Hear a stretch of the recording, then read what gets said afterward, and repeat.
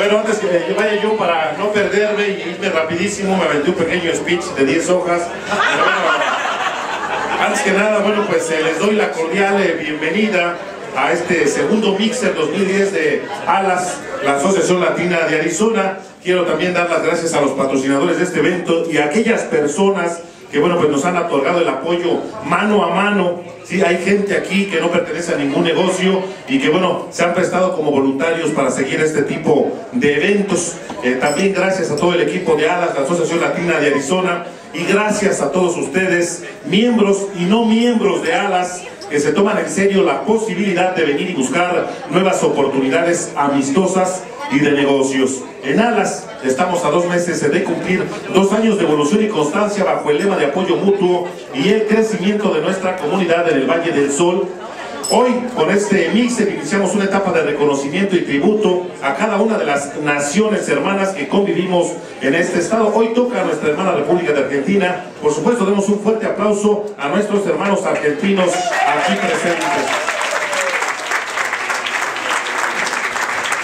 Gracias también al Sky Launch por darnos la oportunidad de hacer eh, pues este evento en sus instalaciones. Por otra parte, tengo el orgullo de hacer de su conocimiento que Alas se va convirtiendo poco a poco en una parte importante de la comunidad en el condado. Nuestra meta, iniciar, eh, iniciar es eh, lograr unificarnos en todo el estado y seguir creciendo. Aparte les informo que ya tenemos el registro de la non-profit, solo estamos haciendo los arreglos finales, para hacer uso de esta posibilidad.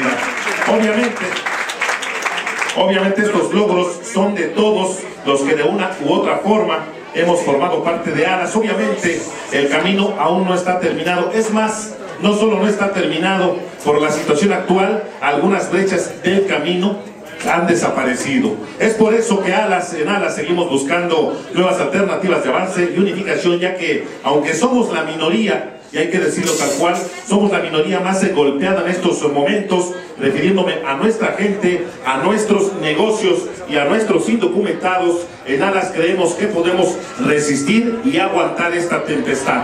Es tiempo, como siempre, de unificarnos, valorar nuestro poder económico y hacernos valer de otra manera. Nadie, nadie lo va a hacer por nosotros. Somos la fuerza económica más importante del Estado y la que menos está tomando ventaja, está tomando ventaja de este valor. En alas estamos luchando por demostrarlo. Por otra parte, vale resaltar con letras mayúsculas el trabajo y la tenacidad con que nuestros negocios hispanos han logrado mantenerse a flote es eh, para mi gusto un acto de heroísmo porque en estos momentos no es lo mismo mantener adelante un negocio que depende de los hispanos a mantener uno que depende de otros grupos étnicos y más si se trata de hispanos de primera generación. Demos por favor un fuerte aplauso para esos hispanos dueños de negocios del valle.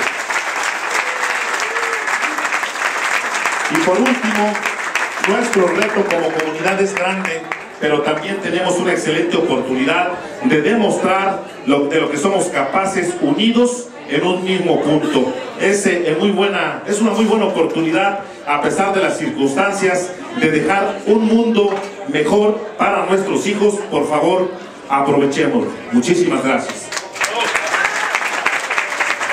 Renato Ábalos, aquí en la revista TV.com.